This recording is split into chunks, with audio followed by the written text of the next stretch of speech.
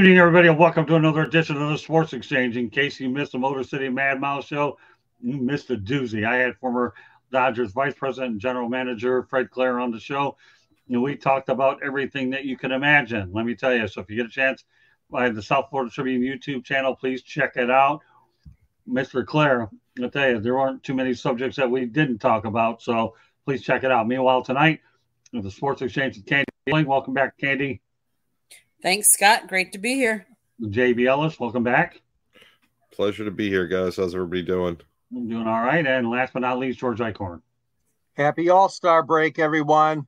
There you go. And Joshua Door, he's on. I have a feeling we're going to have a lively show with Joshua Door tonight. Good stuff. Don't worry, Joshua, we won't disappoint you with these topics. Mark my word. You'll be able to loosen up enough to make it worth your while to be on tonight. Anyways, let's get right to the WNBA which has agreed to a $2.2 billion rights fee. The deals with ESPN, Amazon, and NBC, which will quadruple the league's revenue. Current deal is 50 million. The reported new annual deal right now is going to be 200 million per season over 11 years. That equals 2.2 billion dollars. And you can rest assured, Caitlin Clark had a lot to do with it all of a sudden the networks are taking the WNBA seriously. And let's go to the the, the woman that we have in here, Candy Evelyn. This would have been a good one for Megan Price to be on, but Candy, uh, well, more than happy to have you start off with this one. I mean, I'm I'm glad that people are starting to recognize women's sports. I'm glad that they're starting to pay more attention to it. I'm glad that they're increase. I mean, now that they're seeing these revenue increases, I just hope that equates to what we're paying them as well. Because the amount that like Caitlin Clark is earning, granted, she gets endorsements and all those other things, but the actual amount that she gets paid to play the game is very minute. Um, they're actually, I don't know if, if any of you guys know this, but they're actually then she's going to be represented. Um, NASCAR team is to use Caitlin Clark themed car at Brickyard 400 this weekend as well. so she's going to be represented on NASCAR as well as so. I mean, it's popular. I'm happy that it's not just one player; it's a couple of players that are you know sparking the WNBA for those that love basketball and love women's sports. That's great, and I'm well, excited and happy for them. Well, when you think about the logistics of the deal, you're talking the current deal is fifty million dollars, and now the next one's going to be two hundred million. I mean, that's a lot. That's attributed to Caitlin Clark. It, it, has a lot to do with it. So all these people that were jealous, get out of there. I mean, the one thing I'd like to see come out of this whole thing is they get paid enough money so they don't have to go overseas and have to supplement their income, uh, aka Brittney Griner. I'll turn over to Joe. What are your thoughts about the WNBA finally earning a contract that it can feel pretty good about? I think they made a big mistake. 11 years is a long time. You don't know what's going to happen. If the sport blows up, they're locked in. Right. 11 years. Think about how long that is. What were you doing 11 years ago, Scott? Do you remember? Was I, I've been in this business 44. I can tell you that much. Right. So, so where were you 11 years ago? Where was the South Florida Tribune? Well, that was not in existence. Right. You're trying to pin me down. You did did. Okay, go yes, ahead. I mean, 11 years is so far. You don't know what could happen. They're leaving money on the table. The sport's growing. They they seem desperate doing an 11 year deal. Not the right move. You know, glad that they finally got some recognition. They'll be on some great networks, but not a, not a smart business decision, you, especially in the TV climate, to do an 11 year deal. Okay, let's go to the chat room. Candy, Walter Mitchell's first one. Well, does that pave the way for future expansion? You know, it definitely will. No doubt about that. They matched up, up with the NBA deal, from what I understand. I think it could be wrong. No, there you go. Walter agrees with Joe. All right, George, you got final word on this one. Yeah, the NBA deal is not totally finalized yet, but I agree, JB. I mean, that is an awful long time. Um, and obviously, they're trying to seize the moment, uh, like Candy alluded to, with Caitlin Clark and An- Angel Reese and and all these great uh, uh, WNBA players we've seen over the last 12, 24, 36 months, three years, possibly going back. I mean, they've been working very hard. Don't get me wrong, ever since the league was started uh, to get a contract of this magnitude, but it unfortunately has not happened so far. And you're right. I mean, you know, they are gambling a bit because that's an awful long time for a contract to run, but it's also a sign of how far they've come, uh, which you guys talked about earlier. You know, the, a sign of how far women's basketball and women's sports in general has come. But All Walter right. is Walter is correct. I that NBA's board of governors approved the league's next media rights deal, and it's finalizing. It's an 11 year agreement as well. So the NBA and WNBA are both going for 11 year deals, which I agree, JB, is really long in, in today's day and age. And with the 11 years, let's face it, we weren't streaming 11 years ago. And how think quickly things have changed, 11 years is a long time. Okay, well, you know, we're talking a long time, so guess what? We're going to transition to another long time subject, but not one that Joe Ellis would really particularly like. And I'll talk about the New York Championship drought. With the Rangers eliminated, there have been 100 combined seasons played by the Rangers, the Islanders, the Knicks, the Nets, the Yankees, the Mets, the Jets, and the Giants. Joe, 100 years and you can't get a title in the Big Apple Metropolitan Detroit. What is wrong up there? Uh, just bad, bad general managers, bad coaching. Just, you know, teams that are trying to win, but there's better teams that have gotten lucky or done the right thing. You know, the Giants are, I don't know, can't even understand what they're doing. The Yankees have haven't learned over the last, I guess, the Hal Steinbrenner era. Uh, over in Queens at Citi Field, they went. They are trying to do the George Steinbrenner method, which didn't really work. Mm-hmm. Uh, the Jets are the Jets. I mean, 1969 was a long time ago, and I for what I don't know what they did to be such a cursed franchise. So we, we can't count them for anything. You know, the Nets, they they tried. You know, they got their big three. Harden, who I don't know what, you know, what kind of workout he was doing that he came in overweight. Kyrie, who was got some sort of mental thing going, and Durant, who can care less except for playing for a winner, but he doesn't know how to build a winner, and he just likes to hop around. He really doesn't need contracts. He he should sign ten day contracts throughout the season so he can go to different teams because he has no loyalty. He's a bum. He's always been a bum. Kevin Durant, JB underscore the program on Twitter because you're a bum. But what else do I have to say about the men? You know, what other teams we miss? The Islanders, they're they're trying. They got the new arena, but it'll be a couple of years before they're good. I don't think I missed anybody, but New York sports is kind of horrible right now. Well, okay, a good transition. You... Did, did I mention Kevin Durant's a bum? Yeah, well, you're, you're I welcome. I, to think I heard that. You're welcome to say as many times you want, but I knew that topic would uh, get you right in the eyes of Joshua Dore. Okay, and he would call it a ball buster. This is something that most New Yorkers have to deal with. They're ball busters because 100 years is a long time. But anyway, George, your thoughts about the situation that's going on in New York? Unbelievable, really, Scott. I never looked at it that way with totaling all the years of all the teams that have been frustrated by uh, the championship drought. Uh, it, it's really an unreal situation. It really is. And what Joe was talking about, I mean, you had bad management, you had bad coaching, you had some very skeptical uh, fans that uh, are, are, getting a little bit more uh, irate as every season marches on without a title.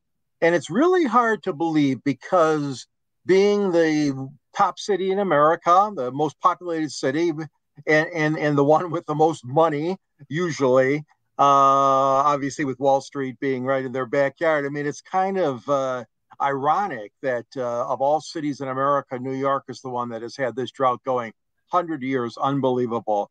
I mean, uh, you might want to throw Walter's comment up there too, Scott, but he talked about Detroit. Well, no, I'm not going to throw Detroit up there yet because oh, okay, okay. planned. Okay, George, I, you know, you, you, there comes a point where you're developing in the podcast era, okay, and if Joshua Dore is listening or any of his other cronies, okay, okay, let's stay on the subject, okay, okay, and if I have to go out there and tattoo that to your forehead underneath the South Florida Tribune hat, I will do that. Wow. Tattoo, stay on point, Corn, and take that head off. I know there's enough head around there, or we'll do it in two lines. Stay on the subject, Corn. Okay, got nothing else to say about yeah, New York George, City. GE may bring good things to life, but a tattoo sprayer won't be able. I don't know. Are you allowed to be buried with tattoos with your religion? Uh, yeah, I think so. I don't think the Jewish people are, but that's not for another. That's another. day. Walter, you're fine. You're fine. And that's okay, Walter. You're all right. It's different. I get to kick around Eichhorn. I've only been doing it for 44 years. What makes you think I'm going to stop now? You're okay. But now that you, now that you guys let the cat out of the bag, okay, that's an awful lot of t- teams for 100 years. So uh, does that Well- mean that Aaron Boone's seat gets a little hotter? The more and Oh, it should be. the more desperate it is. But don't say anything more, Eichhorn. You've already brought your Detroit reference up. I'll do it. I'm I'm suspending you for the next 10 seconds, okay? Until I go ahead and make segue. But that said, I'm going to have Candy give us a station break while you think about what I'm uh, what I just told you. Go ahead, Candy. Wait, can I comment on the New York? Absolutely. You comment and then you give us a station break. But Eichhorn threw me off again. Sick them head. Okay, so the New York market, biggest TV market, biggest revenue, pretty much biggest pockets. I mean, let's face it, the New York Mets this this season, three hundred and forty-two million dollars is their payroll.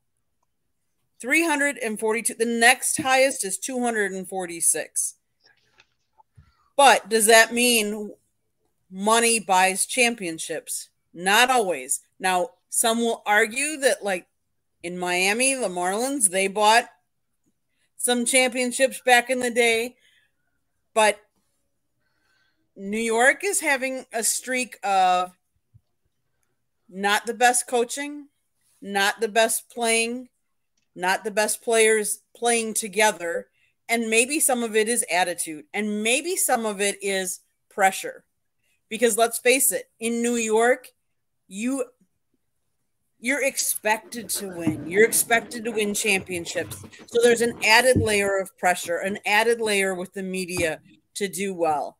And some people don't perform well under pressure. Now I'll do my station identification break. Okay. This broadcast is brought to you by the South Florida Tribune Publishing Company, which actually published a book last year, Lessons from the Microphone, Tuning into the Enduring Wisdom of Visionary Leaders. It is written by none other than Scott, the Motor City Mad Mouth Morganroth. And the foreword was written by George Eichhorn. There is a picture of young Scott with young Muhammad Ali.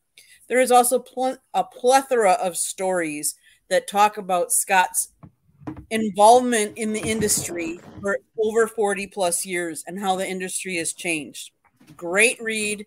It's available on Amazon, Barnes and Noble, um, Kindle, Google, and Apple. If you like to listen to podcasts, you can listen to our podcast wherever you get your podcasts iHeartRadio, Google, um, Apple, Spotify, Deezer, you name it, go get it. We have a website, www.southfloridatribune.com. On our website, on the front page, there is a link so you can go get, you know, it's hot outside right now. You need a t shirt. Go get a South Florida Tribune t shirt. Or if you're going traveling up to Canada and you need, you know, cool off and you want a sweatshirt, go buy a sweatshirt, South Florida Tribune. It's on our website, the link. Click it. Go buy some merchandise. But you can go to our website and actually look at Scott's articles. George writes, JB writes, I take pictures. It's there. If you see a red subscribe button by George, that means you have not subscribed to the South Florida Tribune YouTube channel. I clearly do not understand why you haven't yet, but please do so. Then you'll be able to enjoy all of our shows and get notifications when our shows are on. Monday nights we talk baseball. Tuesday nights we talk football. Wednesdays and Thursdays, you never know what we're going to be talking about. We could be talking about a hot dog eating contest, cornhole, NBA, NHL, NBA, WNBA, you name it. And we might even do some non sports topics. So check us out. Scott also does a show, the Motor City Mad Mouth show on nofilter.net. Typically it's on Wednesday nights before us, but this week it'll be tomorrow night around 8 p.m.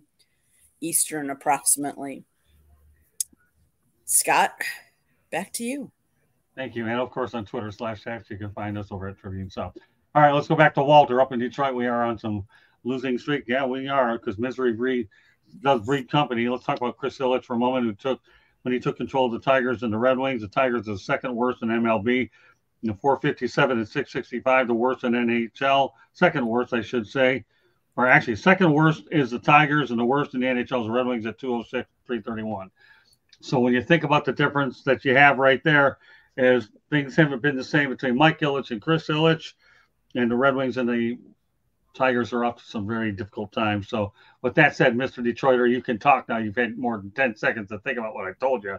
Let's talk about the Ilitches and the rest of the problems. But before we do that, let's make sure we get the rest of the chat comments up there.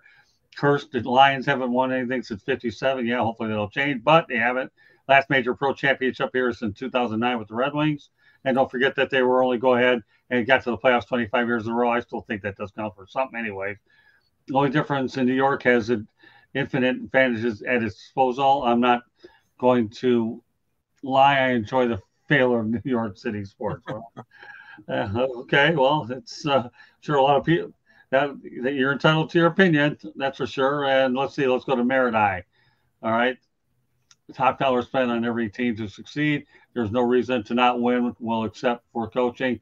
George, I'm here if you need me. Yeah, of course he's used, he doesn't want to see his buddy get ripped. All right, go ahead.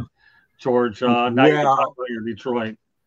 Well, you know, obviously Detroit, at least professional football wise, has turned the corner. They won a championship. Yes, they haven't been to the Super Bowl, but uh, that day is coming. As far as the Red Wings go, I mean, yeah, you know, making the playoffs that many years in a row and, and all the Stanley Cups they won, but now they've been on hard times, as we know, eight straight years without even tasting the playoffs.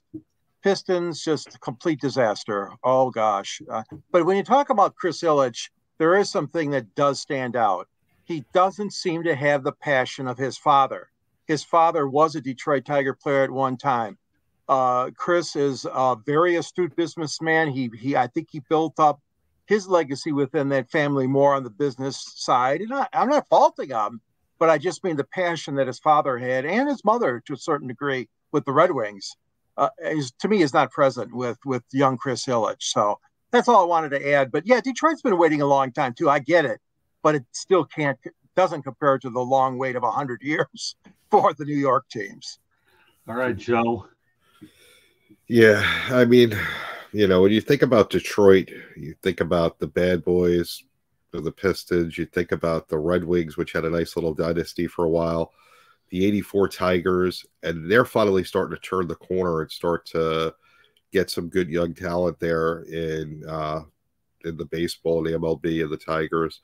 Uh, the Red Wings, I, I, don't know what's going on with them as much. I don't follow them as much, but I, I think in the next couple of years they're going to start to to rebound. The Pistons, though, they just can't seem to figure it out. You know, they've had top picks and been horrible for the last few years. I don't know what it's going to take for that team to to come back and you know become relevant again because you know it's a shame. It's a hardworking community. It's a hardworking city and they just they're just there you know they're just they're not giving it the effort that they should i think. Okay. candy? Okay so i'm gonna tell you guys what surprised me is i saw a stat that says for the Tigers. Last year, your revenue was $306 million for the Tigers. Your payroll this year is 118 million, which is only 38.6% of the revenue from last year.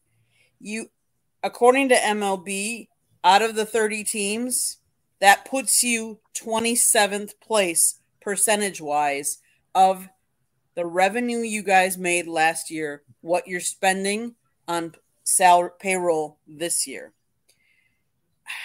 What I'm gonna what I'm gonna say is I'm gonna blame a lot of it on your GMs because honestly, I don't think we give enough credit to the GMs that can put together really good teams, and part of it is the owner that that pays for that GM the success that Green Bay has had, a lot of it is attributed to Ron Wolf. You know, if you look at it, the really good GMs really know how to pick on pick players, and you've got to some of the teams that don't have the payroll and the expense expense that a lot of other teams do. They've got to rely on hitting on all your draft picks. And so I think a lot a lot of it is that. A lot of it is also your coaching staff getting your players to play together cohesively as a team because these are all team sports, not individual sports. And I think that matters too and makes a big difference. Well said. Well, Troy Weaver was awful. Monty Williams, unfortunately, lasted only one year. I think he could have gotten it done in year two or three with better players, but the reality of the situation is you don't finish 14 and 68 worse than you did when you only won 16 games. And Tom Gores right now is getting to the point where that honeymoon period is over. He knows he needs to put together a winner. So when you have that combination going against you, it doesn't work well. Al Avila had a 19 million year rebuilding program, traded every good player on the planet, and that's why they were behind you know, the Red Wings, I give them a little, cut them a little bit more slack. Ken Holland did a good job with them. Steve Yzerman is just trying to clean up the mess. And the Lions under Dan Campbell and Brad Holmes, there's no question that they're making progress.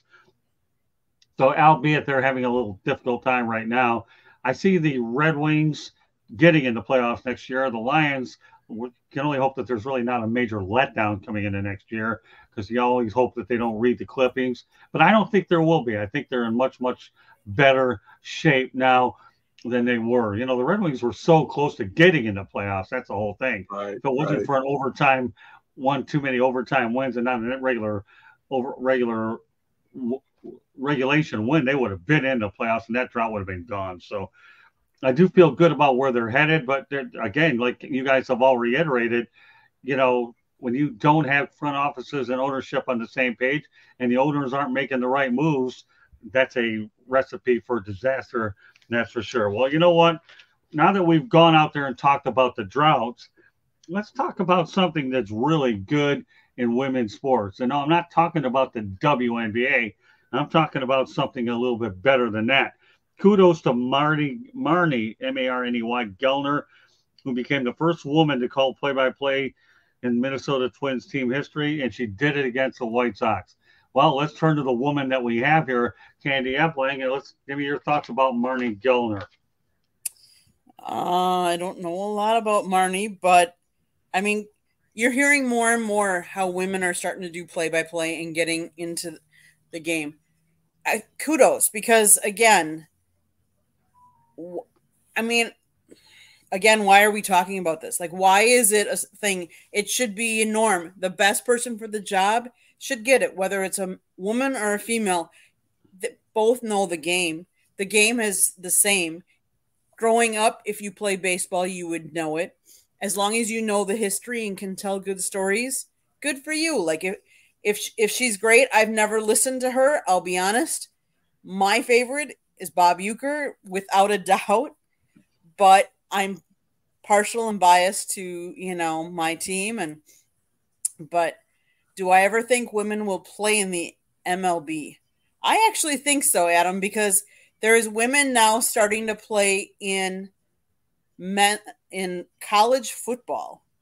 And that's a more contact sport. So I would think MLB would could be easier and more accepting of women playing in MLB. There you go. Okay, go ahead, and George. Joshua Door dog check. There you go. Got to give him a dog, check. 101. All right. Well, uh, any, uh, hey, listen, you know, uh, we talked about it on 108 Stitches. I'm happy for her. I don't know much about her either, but it, it's it's one of those areas that it just taken a long, long time to kind of crack that barrier, if you will. The other one is Major League Baseball, you know, and that's another thing is the umpiring. You know, we've had female officials, but for some reason the they've they've had them in spring training, but they never pro- promoted a female to the staff. I think they should do that also. But um, yeah, there's a lot of qualified lady announcers and, and and lady broadcasters and you know sportscasters. They do a great job with anchoring. They do a fantastic job as sideline reporters. Uh, they've been uh, going back to Phyllis George. They've been part of the uh, panel, if you will, on the pro football pregame shows and stuff. So um, I'm happy for for her in Minnesota. The Twins uh, seem to have made a nice move to do that, and uh, I'm only hoping that it becomes more common instead of us having to talk about being a one-off, you know, and that she did something that mm, you know nobody else did, at least in Minneapolis. So yeah, I'm I'm happy for her, Scott too. All right, Joe. I like this comment by Adam Bloomstein. You know, I would like to see a female head coach, a female umpire next two years. You know what, Adam? There was a thought thought I actually had. I thought Becky Hammon would break the barrier and become the first head coach in the NBA, but it didn't work out. She took the Las Vegas Aces. But you know what? I wouldn't be surprised if that happens in the next two, three, four, five years, Adam. Great point, though. All right, go ahead, Joe. Yeah, I mean, I'm kind of over this topic. It's 2024. You know, the best person for the job is the one that should get it. She's obviously the best person. The twins thought she was best and most qualified for the job. Right. Women could, you know, talk about sports just as good as men. Candy's one of the best that I've worked with. I have no problem saying that Candy's a woman. You know, so it's self-explanatory. If you know, it, it's great that we recognize it, but at the same time, it's not something we should even have to recognize. If you're the best for the position, that's what it should be. You know, I'm glad for the woman, uh, Marnie. You know, I'm sure you know she should be proud that she got there.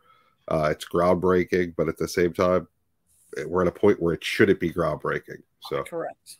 Thanks. Yeah, I agree, and I, and I'll tell you this too, Marnie Gellner in Minnesota. She's something. I'll tell you what, she's well liked and well known there, so her credibility is unbelievable. Excuse me. So with that said, okay, we're going to stay. This topic is designed for Candy Ebeling. Now, I'll tell you what, I noticed this here out there. I couldn't believe how many coaches that the Milwaukee Bucks em, em, employ when it comes to assistant coaches. If Doc Rivers isn't under pressure now, I don't know what the heck pressure is. So bear with me for a second, okay? Here's the coaching staff of the Milwaukee Bucks under Doc Rivers. Darvin Ham, never heard of him? Yeah, once upon a time he was there with the Lakers. Greg Buckner, Dave Joerger, previous head coach. Then you have Rex Kalamian, Joe Prunty, Vin Baker. Now I'll tell you what, if you're Vin Baker was a heck of a player. I used to like watching him. Pete Dominguez. So that'll be a crowded bench. So those are all your assistant coaches. Now, if you want some other assistant coaches for assistant coaches, you got Jack Karen, the head of player development, Jason Love, player development, and then you have Spencer Rivers, player development. Oh my goodness, how many coaches can you have, Joe? That's a lot. Yeah, I mean, more power to them if they want to have that many people uh, in the coaching staff. I don't think it's necessary, but if you know they feel that they're going to get the most having all those people, you know, on the bench or in the organization helping as long as they can effectively use all of them to make the team better. But it all starts with, you know, Doc Glenn Rivers, who has proven he's not a not the best coach in the NBA, that he's not good in the playoffs when it counts, and you know he's going to be holding that team back. So you know maybe get rid of him and elevate one of the 35 million assistant coaches, and they'll have a better shot. Hey Joe, I was just amazed that they had that many coaches. I'm thinking, you know, yeah, that is a lot. That's that's insane. Seven regular assistants, and then or eight. I don't know who's counting at that point. You got seven plus three equals ten. Yeah, that does, that's a general math question, one that I can handle. That doesn't require a calculator, but still, ten. That's a lot. I mean, and yeah. you know what? You you go five. Remember, starting lineup was five, and then you have five deep. Is there? Am I missing something? Never mind. Forget about it. All right, George Eichhorn. Well, I tell you what, that is a lot of coaches, and uh, that it, it, just exploded, you know. And not only in the NBA, but also Major League Baseball. I noticed so many coaches in, on these rosters, on these clubs. Um, but yeah, I mean, you can have as many coaches as you want, but if you still can't win or you still can't get to the promised land, then something's wrong.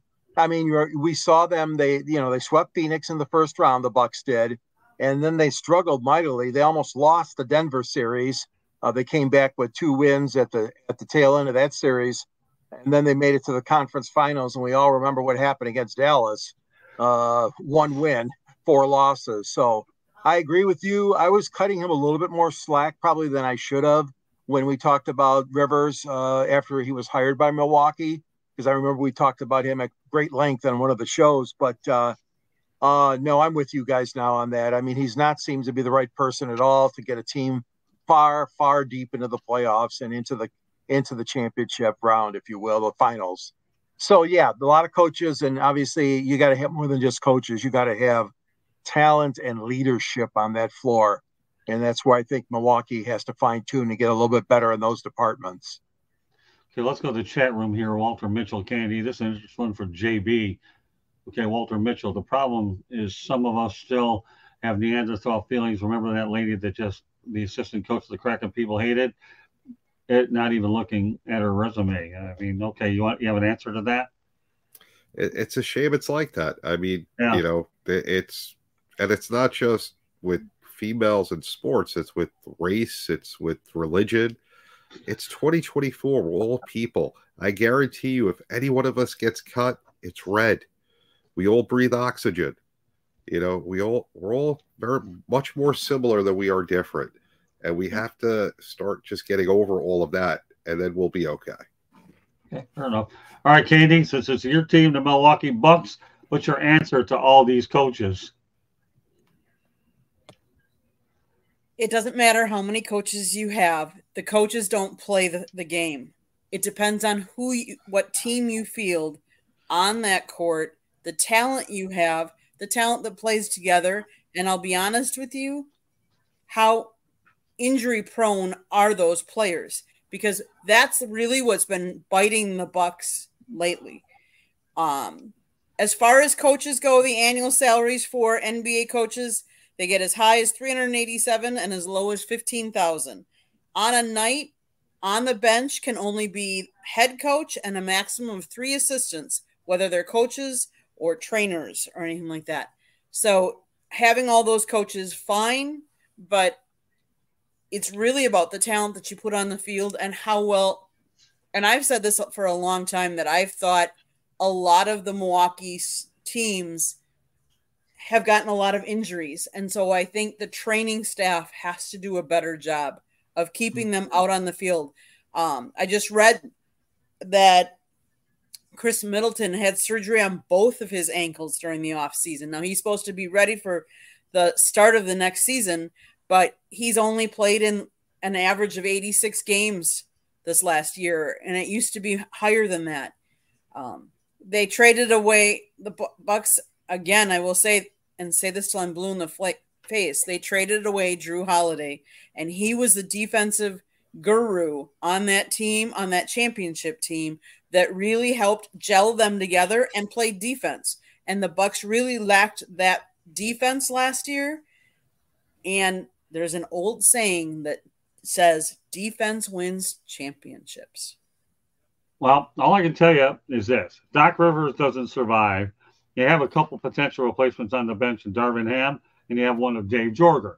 Now, a little defensive note that I just found out today is that Patrick Beverley has decided instead of playing for Houston and Detroit for the league minimum or whatever they can get him, he's going to play in Israel. So enjoy the matzah, enjoy all the chopped liver, and enjoy the amenities out in Israel. It's okay, Patrick Beverley. You might even be able to gain a lot more subscribers for your podcast. Is what you can do out there. Although they're going to have to figure out how to do it in Israel, and I wouldn't even begin to advise you because I, I struggle to speak the languages that I do. I've never even passed a foreign language, but still, but as far as the Bucks are concerned, the biggest thing that they have to have come postseason, Giannis Antetokounmpo must finally stay healthy in the postseason. Period. One minute, one year he's missing in this amount of games. This year he's missing. Come on, Giannis, stay on the court. Okay, we can't sit here looking to put people around you when you're not playing during the playoffs. You know they need you during the regular season. The numbers have always been good. You got your championships. You don't have to worry about anybody putting you in the classifications of all the players that don't have one but they need you in the postseason. They do. And until Giannis Antetokounmpo can stay healthy in the postseason, fine. Now, Doc Rivers, you don't have any more excuses to not win. You got enough help.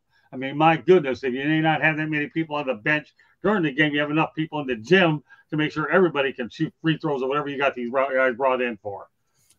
So, as if Doc River seat wasn't hot, I'd say it's bo- boiling hot right now and because the Milwaukee Bucks are showing a lot of faith that you can hire all the assistants you want, you better win, and that's all there is to it.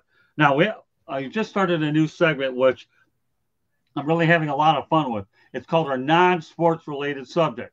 Nobody sees this here, so nobody knows. Okay, but I have one that Candy Ebling is definitely going to get be familiar with, but I'm going to bring her on last. Okay, I'm going to start off with Joe Ellis. Okay, a Florida man faces a felony robbery charge after attempts to withdraw one cent. I said one cent, folks. Okay, from a bank in Sumter County. His name is Michael Fleming. What do you think of that, Joe? One cent. You got a penny in your pocket? Really? So he tried to withdraw a penny and he's got felony what charges? Yeah, he's got a felony charge. They're trying to charge him for a felony charge just for with I don't know if there's some stupid publicity stunt or whether this is real, but it was real enough to get it on the sports exchange tonight. What do you think? A felony for a penny? Holy What moly. is wrong with Florida? Well, seriously, what is wrong with with the state of Florida? That's all I can say. I don't have that much of time to tell you. They've already spent more than what the whole penny was worth once they arrested him. Yeah. And now we haven't even got into the court cost, the lawyer cost, and if they incarcerate the man, that's tax money for the one cent. I- I'm done. Yeah, but you know what? you just got started because you probably gave the answer that 99.9% of this civilized world would come up with. But you know what we always try to do, Joe, as we always talk about in the book? We got to come up with something different, and it's our job to report the news whether we like it or we don't, right, Oh Joe? yeah, Isn't that journalism 101? That's Of right. course. Okay. All right, George. You know what? What are your thoughts about the penny felony? The penny felony stinks to high heaven. I'm sorry. This there's no place for that kind of. You know, I mean, I I, I could see if somebody's trying to have some fun and getting the, you know, get drawing the ire of the bank employees or something like that. Now, I don't know if he had something planned like that, is to try to get his name in the news. Uh, although uh, that's a better way to get your name in the news, I guess, than obviously some other violent criminals so with the way what things they do. But that's for another day. But no, I don't understand it. I I, I just you know, it's it's so funny, but it's ridiculous. But and yet it just is a is the craziest thing, Scott and guys and and Candy. This is just this sounds so stupid. Like you said, GB, wasting all the time and energy on it. Now you're far, far in the negative category. What it's costing the uh, powers that be. Crazy. Well, if anybody was on Inside the Pigskin last night, you know, I never thought I'd see the day where I'd be talking about Flip Wilson and Nipsey Russell. But when Jeremy Baldrick is out there telling me that he can't come on our show on Thursday because he's got a date, and then everybody, it, it, all of the co-hosts here are having a lot of fun. We hope it works out well for you, Jeremy Balrick, and all. We're having a blast with this guy. You know, we wish we love Jeremy. Don't get me wrong. If you want to take the night off for a date, we hope it works out. And you know what? The one thing I've always learned, you know, you got to be crazy, you got to be different, and we need to maintain a sense of humor. And that one cent pen, penny to me felony is interesting. But we'll go to somebody that's a bit more familiar with the banking industry, Candy. So he walks in, fills out a withdrawal slip for a penny, walks up to the teller. Teller says he can't withdraw the penny. He says, So you want me to say the other word? Fleming told the bank teller, according to the arrest report. No other details are out there except that deputies said the bank teller was in fear of possible violence. So he might have acted very aggressively that you guys don't know. And um, so the they actually said when the deputies were there um, that they felt there was probable cause to feel that he was violating Florida's robbery laws. And so that's why he was he actually was arrested. He was a 41 year old man. He remains on $5,000 bond as of a couple days ago. There are so many crazy people in this world. And yes, you guys don't have, and I shouldn't say don't have a clue, but the reality is who in their right mind is going to walk into a bank and give a withdrawal slip for a penny? Like you can't do anything with a penny. You're doing that to be um rude, joking if you're trying to joke, but it really isn't funny. And mm-hmm. as somebody that works inside a bank, I can see where now I wouldn't necessarily have taken it to this level, but obviously maybe he was aggressive and maybe he was talking aggressively and his body language. There are so many crazy people in this world that you have to be careful because the slightest wrong thing that you say, you don't know if he didn't have a gun in, in his with him. You don't know what what he might go do. Like if you say the wrong thing, he might walk out, go get a gun and come back. Like there are so many different things that set people off and vice versa. So do I think walking into a bank for a penny is something that should be a felony? No. But what else transposed? That could very well she could whoever the bank teller was could could have been trying to protect her and others because you don't know who else was around as well because if he was getting violent and getting you know abusive who knows what he could have done well, we don't have the footage on it, but you know what? Anytime I see interesting stuff like there, you know, that's why we have a comment section. That's why we have emails. And that's why when we come up with stuff like this, it's off the wall. And, you know, I wish we had more opportunities to do more newsworthy stuff. The problem I don't like about doing a lot of newsworthy stuff is the reason why I tune local news off is I'm sick and tired of seeing who was killed here and all that business. So if I could go out there and find anything out of journalism that's a little bit different and try to bring it to the forefront, that's the reason why I incorporate these different topics. But I don't watch local news. I haven't in a long time. And you know what? Again, we have our sources to get information. And as Marshall McLuhan would say, and I mentioned it in the book, the medium is a message. And every now and then, I'm using the medium as a message to talk about an off the wall news story so we can get comments from other people that might have different opinions. But at least on this one, we knew Candy had a little bit more information or insight on it than we did. So with that said, we do have time for parting shots. Candy, do you have any parting shots? Do I have? Um, give me a minute. Come back. To, circle back. All right, George, do you have a parting shot? Yeah, hats off to uh, Joe Davis and John Smoltz and the team at uh, Fox Sports. Uh, the very well put together uh, All Star broadcast last night. Very, very exciting.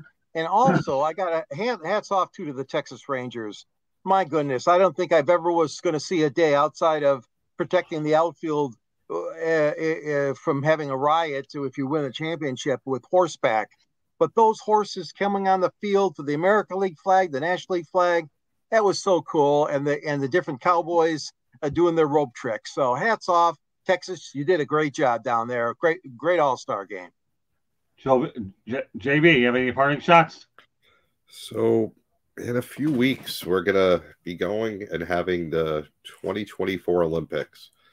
The mayor of Paris took a swim in the river, which they claim is cleaned up. They've been working on cleaning it for uh, many years at this point, but recent tests show it's actually not safe to swim in the river.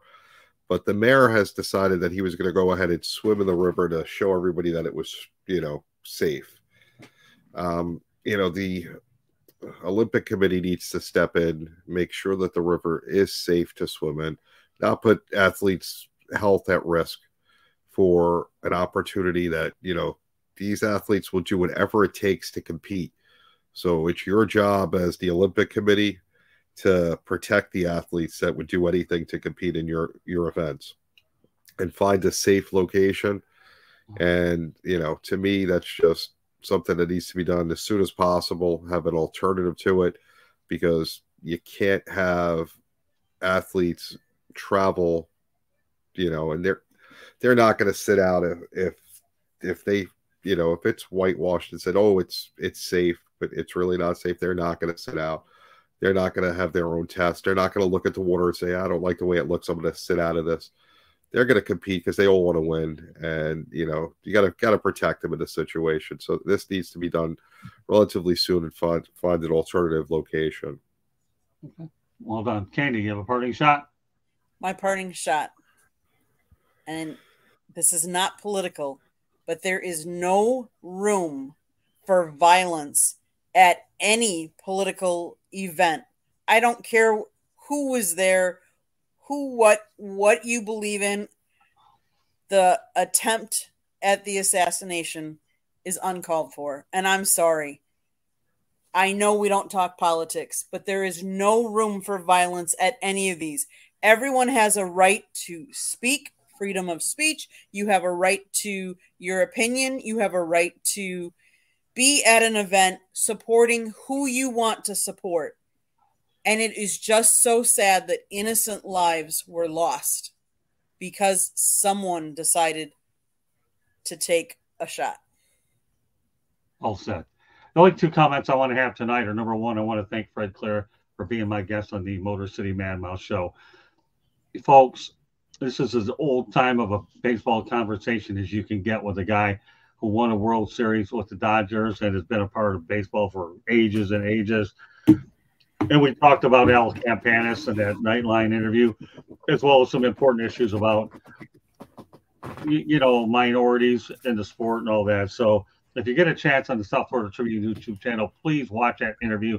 It's a good one. The only other comment I have, Mr. Ellis, is I hope you have a good time out in Alaska. I've been there, didn't take the cruise, okay, but Alaska's a great place. One of these days, I'll take it, Candy on the Alaskan cruise. I hope you and Debbie have a wonderful time out in Alaska. I know you're going to have a wonderful time. It's a, one of the greatest states I've been in. So go out there, Thank and you. we look forward to seeing you in two weeks from now. Thank you. I appreciate it. So, meanwhile, with that said, that um, concludes this edition of the Sports Exchange. But, Katie, you want to take over? No, I was just gonna say we won't be on in two weeks. We'll be on next week, but the week after we will be traveling back ourselves. Right. Okay. Well, so we, we will be on next week. Okay, but two weeks we will be off. All right. Make sure we get our travel schedule straight. But that said, Joe Ellis, let everybody know how they get a hold of you. JB underscore the program on X, sidelinesportsnet.com, sidelinesportsnet.com, the best website out there that Candy has put together for us. It looks phenomenal got articles, you got pictures, you got everything that's important to you all in one spot. got articles from Scott, George, myself, and plenty other people, some pictures from Candy, and some phenomenal stuff on there. Okay, George, you're next.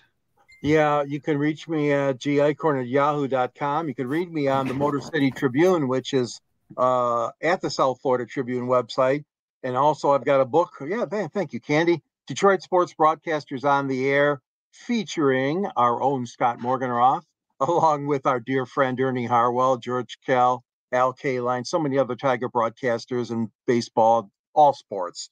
So there's a link to uh, that at the uh, near the end of my column on Motor City Tribune, and you can reach me on X at Sanji Sports 99, as well as see me on 108 Stitches and the Sports Exchange. Two wonderful programs here. JB, you and your beloved have a great time in Alaska. Thank you. Yeah. All right, Candy, take us home. And hello, Ralph Williams. Hi, Ralph. Hello, Ralph. So, South Florida Tribune Publishing Company published a book last November, Lessons from the Microphone, Tuning in the Enduring Wisdom of Visionary Leaders. It is written by Scott Motor City Mad Mouth Morganroth, and the forward was written by none other than George Eichhorn. Go get the book. George's book and Scott's book both available on Amazon. Get your copy today. It's Amazon Prime Day. Come on, what are you waiting for? It talks about Scott's 40 plus years in the business and how media has changed over those 40 plus years. Go to our website, www.southfloridatribune.com, read all the articles we have. We get um, transcripts from the Dolphins, the Jaguars, the Lions. We get a lot of local South Florida colleges. We get Hurricanes, Gators, um, FAU Owls, USF Bulls, all kinds of sports related stuff. Go there, especially now we have some articles I can tell you about some of the athletes that are competing over in the Olympics that were based out of Florida and that went to school at some of the schools down here. So go go get the website, check it out. Go buy some merchandise on our merchandise store. You know, you need a hoodie, you need a hat, you need you need, come on. You need to, if you'd like to listen to our podcast, you can get it wherever you get your podcast iHeartRadio, Google, Apple, Spotify, Deezer, Castbox. If you haven't subscribed to the South Florida Tribune YouTube channel, please do so and get notifications when our fabulous programming comes on. Monday nights, it's 108 Stitches Baseball Talk. Tuesday nights, it's Inside the Pigskin. Wednesday nights, it's Sports Exchange. Thursday nights, it's typically Fire Up. Tomorrow night, we will not be doing Fire Up. Scott will be doing his Motor City Madmouth show on nofilter.net tomorrow night. Let's see. And you have a guest, but the, I'll let you talk about that. Well, that'll be a TBD. Okay. Oh, okay. TBD. Now, but I should also point out on Mondays now we have a show that we got going again called Fire Up Florida, which will be a hockey show that we're looking to turn. We'll talk about the Florida Panthers and the Tampa Bay Lightning. I co-host Rod Peterson, and I'll be running that. And be we'll be bringing in alternate voices to contribute when they want to as well. It's going to be a great show. Primarily the Panthers and the and the Tampa Bay Lightning, but I'm going to also make sure we do talk a lot of a lot about big hockey news as well. Why not? I mean, I, I like to have hockey every once in a while on the Sports Exchange, but the majority of the hockey content will be spilled over there, like we do with baseball and football as well.